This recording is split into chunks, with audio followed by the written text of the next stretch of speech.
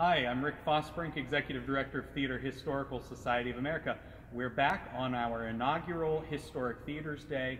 We are at Heinz Hall, originally the Loew's Penn Theater in downtown Pittsburgh. We're with Carl Mancuso. And Carl, could you tell us a little bit more about uh, the restoration of this place? Because, I mean, it wasn't just yesterday, it was a while ago. Right. Well, Mr. Heinz actually saved this magnificent theater from the wrecking ball Mhm. and brought the uh, Pittsburgh Symphony, Pittsburgh Ballet, the opera, and the CLO all together under this roof in 1970 Okay. and made the initial conversion from the Loew's Penn to Heinz Hall.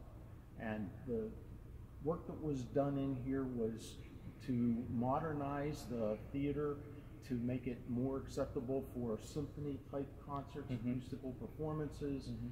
And uh, in the process, you know, some of the beautiful ornate plasterwork that existed in this theater got sacrificed, but it was in the name of a trade off for acoustics. Right. And so today, this is the home of the world renowned Pittsburgh Symphony.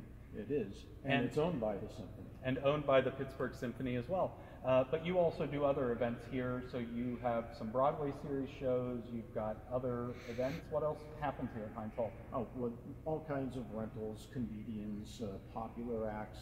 Uh, the um, Pittsburgh Symphony also has a Heinz Hall Presents series Mhm. where we present popular artists.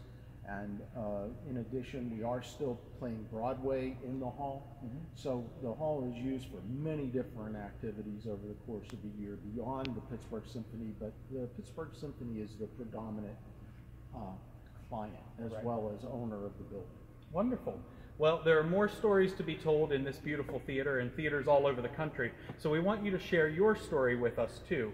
Uh, send us or share us, uh, share with us your videos or photographs or stories and use the hashtag Historic Theaters Day. We'll be back with more.